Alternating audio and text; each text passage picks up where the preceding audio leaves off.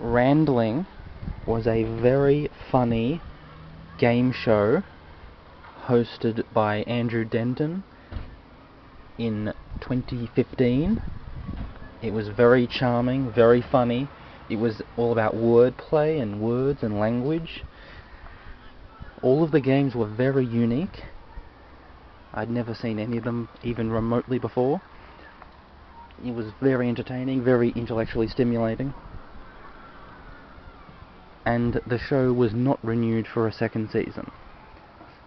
And I do not know why, because of all the shows in all the world, Randling was a good one. So it deserved a second season.